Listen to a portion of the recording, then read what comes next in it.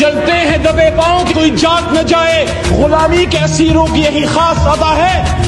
होती नहीं जो कौम, हक बात पे यकजा, उस कौम का हाकिम ही फकत उसकी सजा है।